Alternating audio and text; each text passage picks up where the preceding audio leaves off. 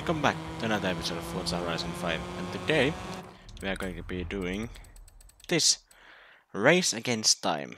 Race like it's 1999 with a perfect finish. And you have to be driving the 1999 Ford Racing Puma and you just have to win um, win a road race. So yeah. I will skip it a bit where I have completed the challenge. And as you can see, we have completed the challenge. The treasure is going to be somewhere around the airport. Interesting. Let's take a look at the picture. Okay, okay, okay. So, let's head there. Let's head there.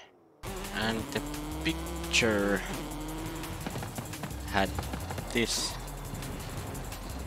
Let's see, let's take a quick look at what point. Okay, so it's it's somewhere here.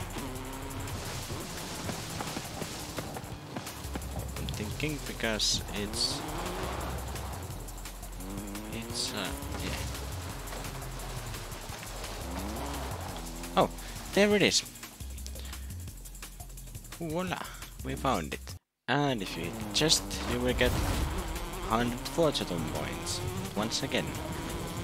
So, thank you guys so much for watching. Uh, if you like this, leave a like, subscribe, comment, do every, everything. And I will see you in the next one. Bye bye.